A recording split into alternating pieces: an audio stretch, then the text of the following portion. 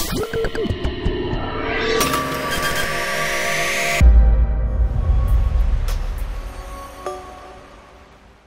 right, today we're going to talk about voltage drop and why it's important and it's important to know what it is and how to test for it.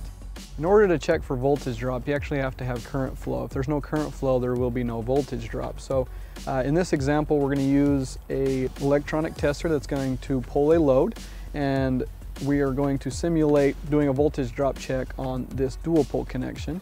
Um, what this does is it pulls a fixed load with a known load from the liftgate batteries through the cables all the way to our tester, which then is going to check the voltage at the batteries, volts the voltage right here, and is going to give us the overall voltage drop throughout the system. So when using this tester like this, it would be awfully hard to get these big uh, clamps inside of a dual pole or taking off the faceplate or anything like that. So at Purkey's, we make adapters just make it a lot easier. This particular one is for a dual pole. We have, like I said, dual pole, we have single pole, and we have for the seven way. Let's just make it a lot easier to be able to connect whatever tester you have to be able to pull the current and do a voltage drop test. Doing voltage drop testing will tell you if your circuit's good or if your, if your circuit's bad. If it's good, you can send it out on the road.